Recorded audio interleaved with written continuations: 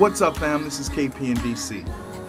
This week, wrestling lost one of its biggest trailblazers, and a woman of many firsts, and personally one of my favorites. My favorite moment of hers was when she debuted. I remember hopping out of my seat. I had never seen a woman so large and so strong. The second time we saw her, she was tossing another adult woman around like a child.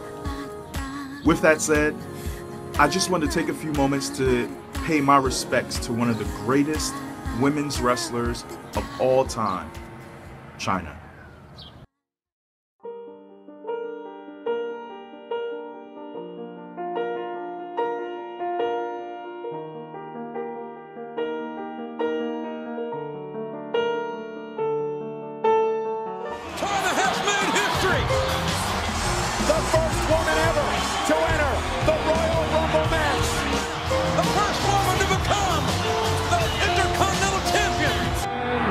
She is the ninth of the world. And new Women's Champion.